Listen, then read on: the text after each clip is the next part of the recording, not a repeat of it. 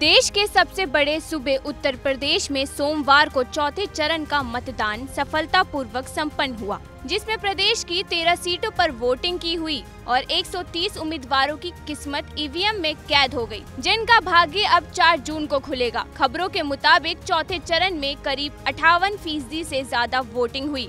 चुनाव आयोग के डेटा के मुताबिक प्रदेश में सबसे ज़्यादा खीरी जहाँ करीब तिरसठ फ़ीसदी मतदान हुआ तो वहीं सबसे कम मतदान कानपुर में करीब इक्यावन फ़ीसदी हुआ। अब जान ले यूपी की कौन कौन सी सीटों पर शाम पाँच बजे तक कितना कितना फ़ीसदी मतदान हुआ। तो हम आपको बताएँ कि सीतापुर में इकसठ फ़ीसदी मिश्रिक में पचपन परसेंट फरुखाबाद में सत्तावन फ़ीसदी, हरदोई में छप्पन फ़ीसदी, कानपुर में इक्यावन फ़ीसदी शाहजहांपुर में इकसठ फ़ीसदी भराइच में छप्पन फ़ीसदी, खीरी में तिरसठ फ़ीसदी और धरोहर में भी करीब तिरसठ फ़ीसदी मतदान हुआ।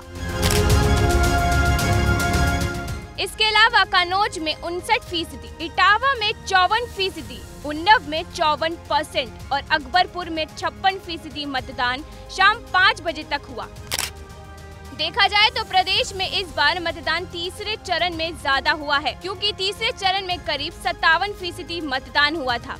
यानी कि सीधा सीधा एक फ़ीसदी का अंतर है। ऐसा लग रहा है, मानो जैसे जैसे चुनाव अपने आखिरी दौर पर पहुँच रहा है, पार्टी अपने प्रचार में दम भर रही है। और नतीजा ये हो रहा है कि लोग बढ़ चढ़ कर मतदान करने भी पहुँच रहे हैं।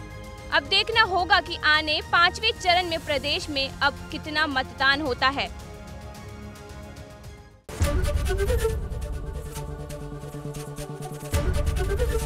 एबीपी गंगा खबर आपकी जुबा आपकी।